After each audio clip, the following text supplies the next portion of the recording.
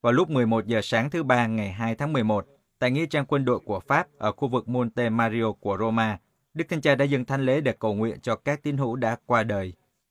Trong buổi đọc kinh truyền tin vào trưa lễ các thánh ngày 1 tháng 11, Đức Thánh Cha nói rằng đây sẽ là cơ hội để hiệp nhất các thiên liêng với các tín hữu trên toàn thế giới trong những ngày này đến cầu nguyện tại phần mộ của người thân của họ. Hơn nữa, Ngài cũng lưu ý rằng việc cử hành tại một nghĩa trang quân đội là cơ hội cầu nguyện đặc biệt cho các nạn nhân của chiến tranh và bạo lực. Có khoảng 1.900 ngôi mộ tại nghĩa trang chiến tranh của Pháp ở Roma, phần lớn là nơi an nghỉ của những người lính Maroc và Algeria đã hy sinh trong chiến tranh thế giới thứ hai.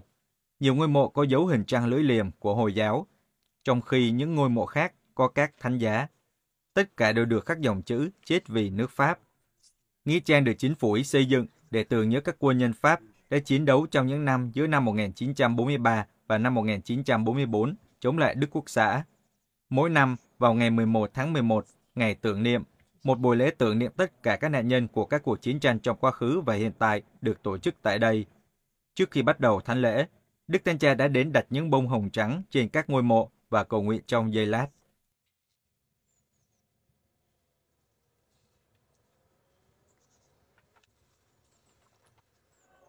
Thánh lễ được cử hành ngoài trời với sự tham dự của một số đông tín hữu người Pháp. Đức Thánh Cha mở đầu bài giảng bằng một câu nói được viết ở một nghĩa trang phía Bắc. Bạn là người bước qua, hãy nghĩ đến những bước chân của bạn, và với những bước chân của bạn, hãy nghĩ đến bước cuối cùng. Ngài nhắc nhở các tín hữu rằng, cuộc sống là một cuộc hành trình, và tất cả chúng ta đều trên hành trình. Nếu tất cả chúng ta muốn làm điều gì đó trong cuộc sống, chúng ta không phải là dạo chơi, nhưng là trên hành trình.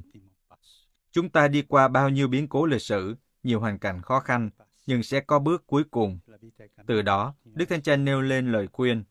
Bạn là người bước qua, hãy dừng lại và suy nghĩ về bước chân của mình và nghĩ về bước cuối cùng. Điều quan trọng là chúng ta bước bước cuối cùng đó trên hành trình, chứ không phải dạo chơi, trong hành trình cuộc sống, chứ không phải là mê cung vô định. Điểm thứ hai, Đức Thánh Cha chia sẻ trong bài giảng là những ngôi mộ. Những người lính can đảm này chết trong chiến tranh, Họ chết vì được kêu gọi bảo vệ Tổ quốc, bảo vệ các giá trị, bảo vệ lý tưởng và nhiều lần khác để bảo vệ những tình huống chính trị đáng buồn và đáng tiếc.